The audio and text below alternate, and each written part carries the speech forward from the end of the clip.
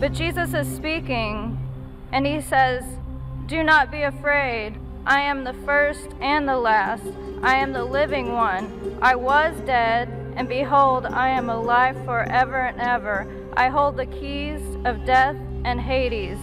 He also says, I am the Alpha and the Omega, who is and who was and who is to come, the Almighty. मोजिज दोस्तों, मैं हूँ अली हसन और आप देख रहे हैं मेरा यूट्यूब चैनल दोस्तों, तोहीद दीन इस्लाम की असल जड़ है। तोहीद ही से दीन इस्लाम का नज़रिया शुरू होता है। किसी मुसलमान का ईमान अकीद तोहीद के बगैर मुकम्मल नहीं हो सकता। तोहीद का मतलब अल्लाह रबुल इज़्ज़त को एक मानना और इसकी इबादत में किसी को शरीक ना करने का नाम है। तोहीद हर मज़हब की कुतब में बुनियादी अकायद के तौर पर मौजूद है, लेकिन वक्तन फवक्तन इसमें इंसानों ने मिलावट कर ली है।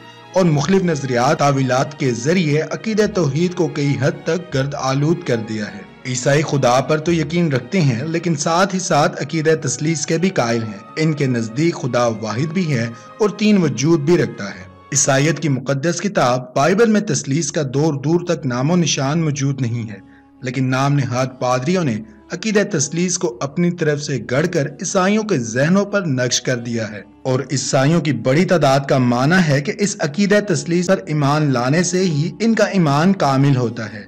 यही वो चीज़ है जो ईसाई और मुसलमान उलमा के दरमियान तसादम, बहस मुबासा और मुनाजरे की वजह है। डॉक्टर जौकिर नाइक से सवाल करने वाले अक्सरियत में ईसाई में कई लोग सिर्फ़ बहसों मुबासे के लिए आते हैं, लेकिन अक्सर हक और सच्चाई को जानकर दायरा इस्लाम में दाखिल हो जाते हैं। दोस्तों, ऐसा ही एक सवाल एक ईसाई लड़की ने डॉक्टर जाकिर नाइक के सामने रखा।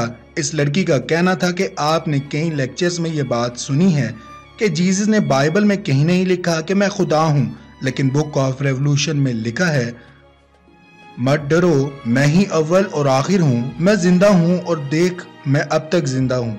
मेरे पास मौत और ज़मीन की तहों की कुंजियाँ हैं, मैं कादर मुतलिक हूँ, जो है और रहेगा। ये आयत पढ़ने के बाद लड़की ने कहा कि यह सब खुदा के नाम हैं जो पुरानी और जदीद बाइबल में मौजूद हैं। और जीजिस ने इन बातों को अपनी तरफ़ मंसूब करके ये बताया, करके ये बताया, और इससे साबित होता है कि वो रूहानी तौर पर खुदा के बेटे थे।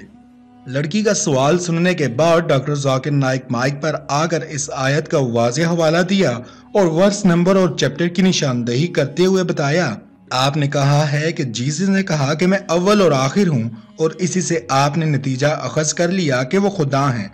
यहाँ एक बात क्लियर कर दूँ कि मैंने अपने लेक्चर्स में ये बात कही है कि बाइबल में एक मुस्त आयत ऐसी मौजूद नहीं है जिसमें जीसस ने खुदाई का या खुदा के बेटे होने का दावा किया हो।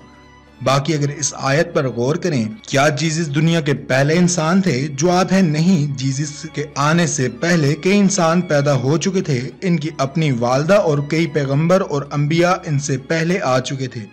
जीजिस आखिरी इंसान भी नहीं थे। इनके बाद कई इंसान दुनिया में आए।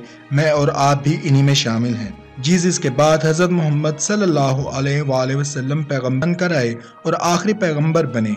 बाइबल में भी इनका ज़िक्र मौजूद है। गोस्पल ऑफ़ जॉन्स में लिखा है कि मेरे पास तुम्हें बताने को बहुत कुछ है, लेकिन अभी तुम बर्दाश्त ना कर सकोगे। जब वो रूह हक आएगा, वो तुम्हें सच्चाई की तरफ़ रहनुमाई करेगा, और वो खुद से कुछ ना कहे, मगर जो इससे कहा जाएगा। डॉक्टर जाकिर नाइक जो कुछ बता रहे थे, लड़की हाथ में पकड़ी बाइबल से इसकी तस्दीक कर रही थी। जहाँ तक अव्वल और आखिर होने का मतलब है, वो ये है कि मेरा लाया हुआ दीन और कानून तुम्हारे लिए अव्वल और आखिर है। इसमें तुम्हारी निजात है। इसी तरह तमाम अम्बिया अपने वक्त में जो शरीयत लाते थे, वो लोगों के लिए अव्वल और आखिर होती थी। इससे हटकर कोई भी बात काबिल कबूल नहीं होती थी। तमाम लोगों पर, इन अहकाम पर अमल करना फ़र्ज़ था। इसी तरह जीजिस जब दुनिया में आए तो इनकी तालीमत अव्वल और आखिर थी। इनकी तालीमत पर अमल करना इनके मानने वालों पर लाजिम करार दिया गया था। इसी तरह हज़रत मोहम्मद को अल्लाह ने आखिरी पैगंबर और रसूल बनाकर भेजा और इन पर कुरान नाजिल फरमाया, जो रहती दुनिया तक के इंसानों के लिए हदायत का ज़रिया है और इस पर अमल करना तमाम लोगों पर फ़र्ज़ करार दिया गया है। इनकी तालीमत ही आखिरी हैं, खुद को अव्वल और आखिर कहने का मतलब हरगिज ये नहीं कि मैं बजाते खुद अव्वल और आखिर हूँ और मैं खुदा हूँ। ये महज एक तावील है जो इस आयत की की जाती है। इसलिए मैंने पहले भी बताया है कि बाइबल में कोई एक मुस्तनद या मुसदका आयत ऐसी मौजूद नहीं है जिसमें जीसस ने खुदाई या खुदा का बेटा होने का दावा किया हो। एक सच्चा ईसाई वही है जो जीसस की बात पर अमल करेगा। बाइबल में दर्जनों हवाला जात मौजूद हैं जो एक खुदा का प्रचार करती हैं और इसी की इबादत की तलकीन करती हैं।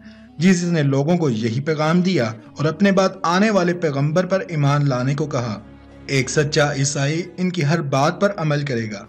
नाजिन मोहतरम, आज की वीडियो के बारे में आप क्या राय है? कमेंट सेक्शन में हमें ज़रूर बताइएगा। अपना ख्याल रखिए। अल्लाह हाफिज़।